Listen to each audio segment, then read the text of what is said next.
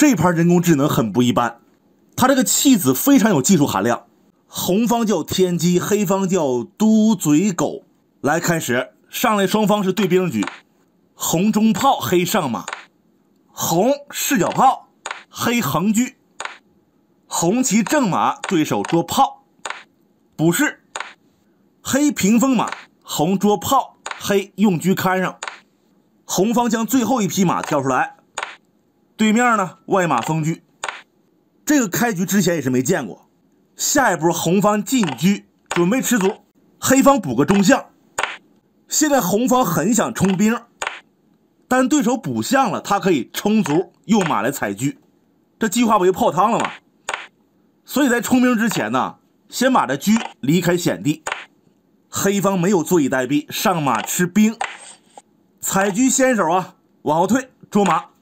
黑方用炮看上，红方直车，终于出来了。接着黑方补士，红方把中炮拆了。这底士啊，多少有些颤抖。黑方把车提上来，红方用香神弹到了敌人家里，从天而降。现在黑方有危险了，人家红方双车瞄准底士，可以用炮白打。那怎么整呢？退炮。先挡住一个，如果再打呀，这个倒不怕黑方吃炮，主要是怕对手平了对车啊。这红方攻势又停滞了，关键点在这儿。看好了，这时候红方突然弃马，这是真没办法了，吃也得吃，不吃也得吃啊。红方来了，炮击底士，成功了。对手呢不敢吃炮。红方会进车卡象眼，之后就是砍炮，然后再双车夺势。黑方只有一招棋可走，就是送车了。没办法，红方吃完也是优势。这个咱们就不往下演示了。实战黑方没有吃炮，他也是电脑，走的是回马。这是个好棋。首先你的底线车炮不动，我就回马踩俩。你要是出手吃了马。那我再吃你的底炮，这棋就没事了。红方也得动一动了，退炮。黑方的底炮没跟，想打马就得弃老将，那玩意儿也不行啊。平一步，你瞄着车也不能发射。红方走平炮。你看棋盘之上，红方五个大子全在右侧，黑方真的是不太好防了。他冲卒过河。再冲一下能拱俩，红方前炮平三，留出一个位置。你要是冲卒，红方就进去一卡。下一步进炮打炮，黑方马上玩完。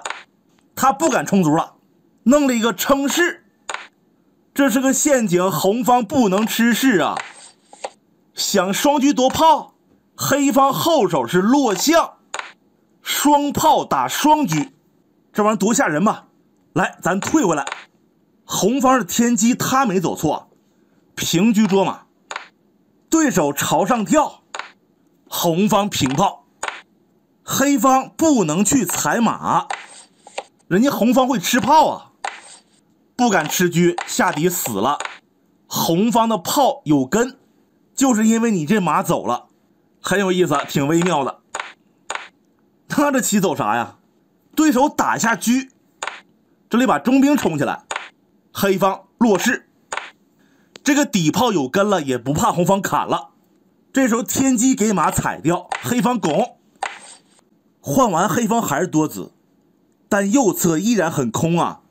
红方甩炮，对手把这象弃掉，吃了，再补象踩车，红方后退。抓二中象又能下底炮，黑方也是拼了，进炮打炮，要来个绝地反击。红方车将电象砍了落士，平车将出老将，给马一收。黑方平炮将，不敢补象，砍底士就死，也不能用士吃炮。黑方有双车错，这只有出老帅。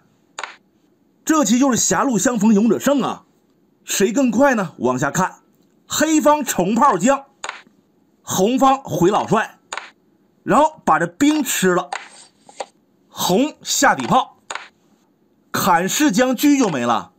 进一步，红方还是吃士，这是双将，黑方炮没时间打，只能上将。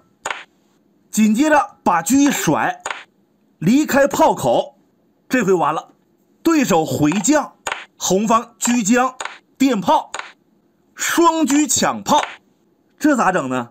你平卒打车没用啊，红方用这砍。等你退将呢，再平车将，黑方躲，那这局没了。平卒看来不行。这个黑方挺能坚持，他退将，红方车将，垫炮就砍上将。这回人用炮将了，老将不能动，唯有逃炮。他这个棋走的气人呐，不发射，用车将，黑方后退，红方吃车。一招毙命，到这儿黑方没认输，断线了，这实在没法走了。接下来就是二鬼拍门了，天机确实很牛啊！就这样吧，棋友们，下期再见。